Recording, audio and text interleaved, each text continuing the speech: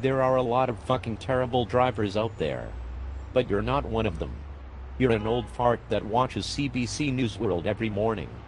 Occasionally you'll drive up to the grocery store three blocks away. If you're over 50 with a good driving record, you could save $400 a year to put towards your next bingo game.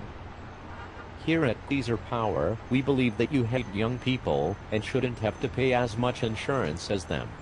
It's okay, we love you and your money. We also love CBC for running our advertisement 100 times a day.